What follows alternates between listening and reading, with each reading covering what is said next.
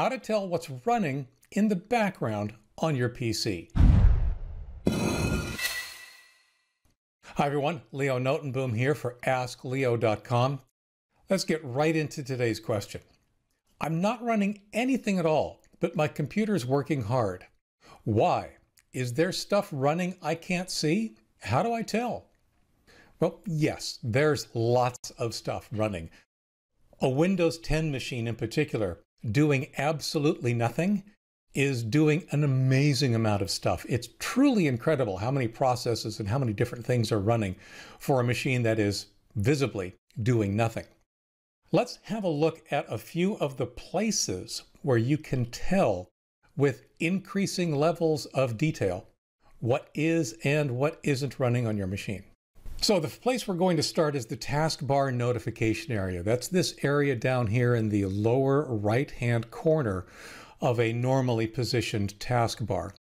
You'll see that there are a few icons there, but the very first icon that's listed is this little upward facing caret or hat, or whatever you want to call it. If you see that, that means you're not seeing everything. If you click on it, you'll actually end up seeing more of the icons that would normally be displayed here. I strongly recommend not letting the caret character show, but instead going into taskbar settings, scrolling down, select which icons appear on the taskbar, and then turning on always show all icons in the notification area. Now you can see that these icons are all visible and they are a beginning of showing you exactly what's running on your machine. For example, in my case, from left to right, Malwarebytes is here. Windows Defender or Microsoft Security is running. This icon that looks like a square or a cube with a, a little amber dot on it, that's actually software that is associated with the VirtualBox virtual machine software that I happen to be using. And next over, of course, is OneDrive. The other two icons indicate your networking, your sound, and then, of course, there's your time and date. So there's a beginning. There are some things that you can see right off the bat and very quickly that are running. Now, let's fire up Task Manager. We do that by right-clicking on the clock and clicking Task Manager, and you can see that yes, it's showing us Malwarebytes is running, but that's not enough. What we really want is more details. And now all of a sudden you can see that there are a number of things running. Malwarebytes, of course, is still listed. The task manager itself is listed.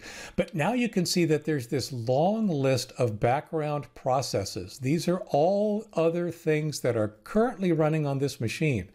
And to be fair, this is actually a fairly uh, it's not a particularly souped up machine. I don't have a lot of software installed on this machine, but this is a great example that just shows you a beginning, the beginnings of what all is running on your machine when you're doing nothing, as this machine seems to be.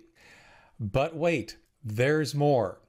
This display actually does a pretty good job of showing you things in terms you are most likely to understand. When we talk about Adobe Acrobat or the anti-malware service executable, that's Windows Defender, but it's anti-malware. You know what it is. Cortana is here. These are names that you recognize, including things like EaseUS To Do. I've got backup software installed. But let's go over instead to the Details tab. This now, and I'm going to make this window a little bit bigger just so that we can see a little bit more of what's going on here. These are the actual .exe files and DLLs that are running on your system that Windows thinks of as running programs. And you can see there are a lot of them. There are many of them. I continue to scroll through here. Service host is a special case. We'll talk about that in just a minute. But you can see that there are a tremendous number of processes that are all running on your machine. Again, when you believe that you are not doing anything your machine is definitely doing something. Now, Service Host is a special case, and you can see that there are a lot of copies of Service Host running simultaneously. Service Host, as its name implies, is a host for services, which is something that is on this tab over here labeled services. this actually will show you a better description of exactly which services are actually being run by all those service hosts.exes. And you can see, once again, these all have names and descriptions, some of which you may recognize, some of which you may not, all bordering on the very, very geeky. Again, this is even more information than the previous tabs have shown you. But now we go off where we're going to get another program to do this for us.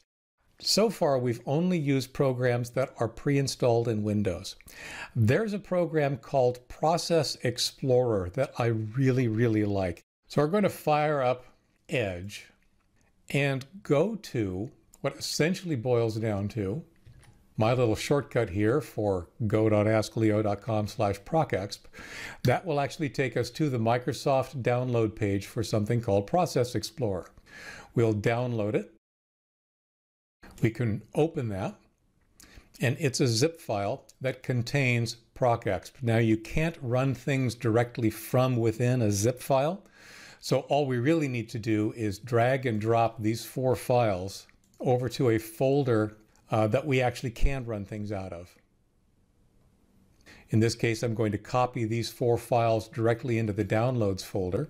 So if we now go to downloads, we'll see that we not only have the Process Explorer zip file, including one that I had already downloaded, but also the programs of the files within the zip file. If I now double click on ProcExp, the program runs.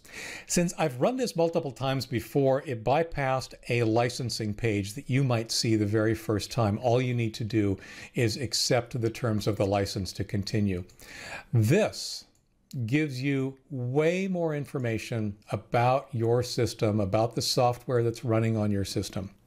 It's significantly more detailed. And in fact, we can take a look at several of these. Let's go ahead and take a look at OneDrive. If I right click on OneDrive, you can see properties, you can see where the program is, what parameters it was run with, what the current directory is for that program, and a number of other things, including its own performance graph. You can see what that particular process is doing in terms of I.O., in terms of memory, in terms of CPU usage. Process Explorer gets you significantly more information and significantly more geeky information, as I sometimes call it, but it gives you a better view of exactly everything that's running on your machine. So yes, when your machine is doing nothing, it's clearly doing a lot. For links related to this video, for updates, for demonstrations, and more, visit askleo.com slash 132502. I'm Leo Notenboom, and this is AskLeo.com. Thanks for watching.